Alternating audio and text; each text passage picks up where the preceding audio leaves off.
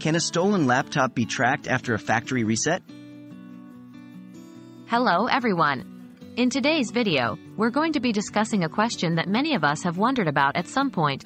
Can a stolen laptop be tracked after a factory reset?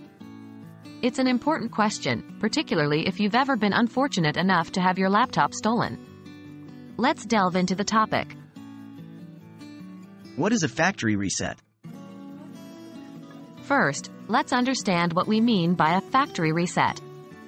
When a laptop undergoes a factory reset, all the data, settings, and applications that were added after purchase are deleted, and the laptop reverts to its original settings, just like when it first left the factory. Hence the term, factory reset. How can a laptop be tracked? Next, let's discuss how a laptop can be tracked. There are several ways this can be done, but primarily, laptops can be tracked using built-in tracking software or third-party applications. These programs are designed to send location data, and sometimes even photographs or screenshots, to a remote server or directly to the owner's email.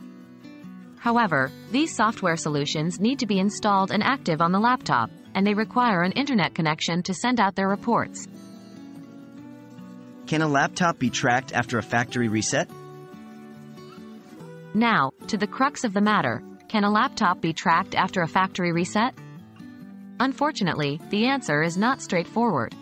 If the laptop's tracking software was installed on the main operating system, then a factory reset would likely erase the tracking program, rendering tracking impossible. However, if the tracking solution was embedded at a deeper level, for instance, in the BIOS or firmware of the laptop, a factory reset may not affect it. Some enterprise-grade laptops come with this kind of deep-level tracking. That said, these are not common features for consumer-grade laptops. Moreover, if the laptop's serial number was recorded, it could potentially be traced if it connects to the internet and certain services are used.